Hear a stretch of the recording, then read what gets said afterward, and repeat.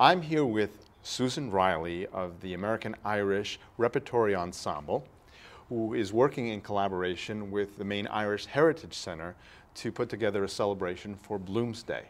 And uh, to begin with, what is Bloomsday? Well, Bloomsday is June 16th, and it's the day um, on which James Joyce's epic novel Ulysses takes place.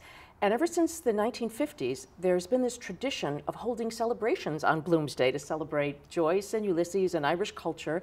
And cities in over 40 countries around the world are now holding celebrations. So this year, we're going to have one in Portland. And uh, what's, what's involved with it? What, what, what's the, what are the dates for it? Well, first of all, there's going to be two main events. One is on Tuesday, June 15th at 7.30, and my theater company, AIR, is going to perform an original piece called Ulysses for Beginners, which is a very funny one-hour recapitulation of the plot of Ulysses using songs, stories, slides, and a lot of humor so that people who have no idea what's going on in Ulysses can watch this, and it's like Cliff's Notes. It's a, uh-huh. and it's a very funny Cliff's Notes, and it's set in a pub. It's at Bull Feeney's upstairs, so you can't miss having a good time. And then the next day, which is Wednesday, June 16th, we're doing an event at the Maine Irish Heritage Center, and uh, that's on Gray Street here in Portland. And we're going to be going from 5 o'clock to 8.30, and we're going to have readings from Ulysses. That's the core of a Bloomsday celebration is the readings. So we're going to have short segments of all 18 of the chapters of Ulysses read by um, wordsmiths.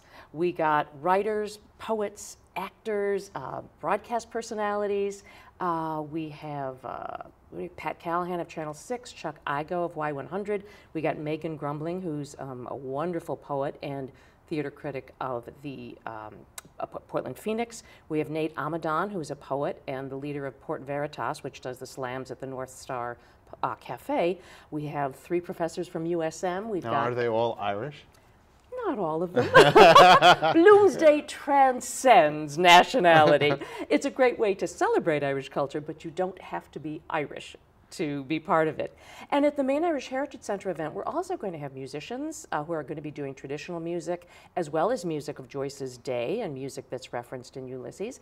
And we'll have refreshments. And um, because it's an Irish party, it's going to be a lot of fun all around. And one thing I'd also like to mention is, as far as other partners in Bloomsday, um, Longfellow Books, uh, right here in Monument Square, is uh, giving a discount of 20% on any books written by James Joyce during the month of June, which is very generous.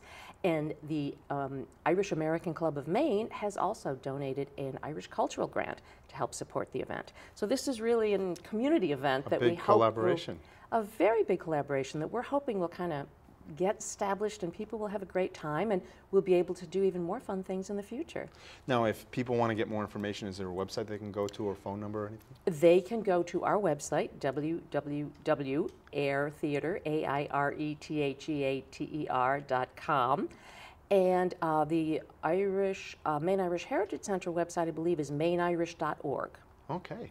Well, great. Well, thank you for being here to tell us about it. And Thank I know you. it sounds like a great event. I, I think I'd like to go to it. and I we hope you do forward too. to seeing you. Thank right. you. Back to you, Leslie.